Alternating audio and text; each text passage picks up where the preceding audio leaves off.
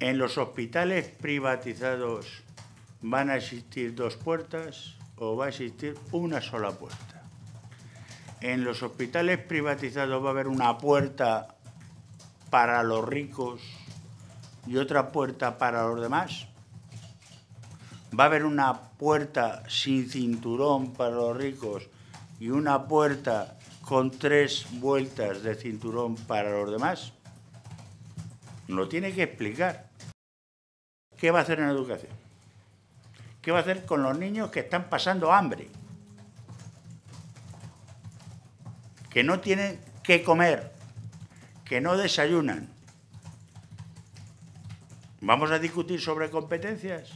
No tiene la competencia la Junta. ¿Va a hacer algo por estos niños? ¿Va a hacer algo por lo que nos tememos una reducción de 1.500 profesores el próximo año? Para luego dar unas permanencias en el verano.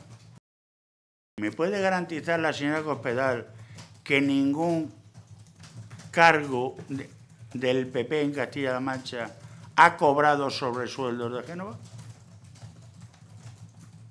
También esperamos sus respuestas. Y cuando hable de pufos, tenga un poquito más de cuidado, que es la persona, quizá de este país, menos indicada para hablar de pufos. Hoy mismo el cínico está aquí. Hoy mismo, y reconoce en el 2011 un déficit de 3.500 millones de euros.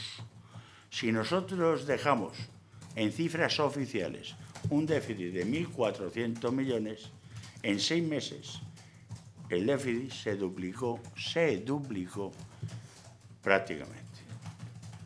Por lo tanto, ni buena gestión ni buenas políticas.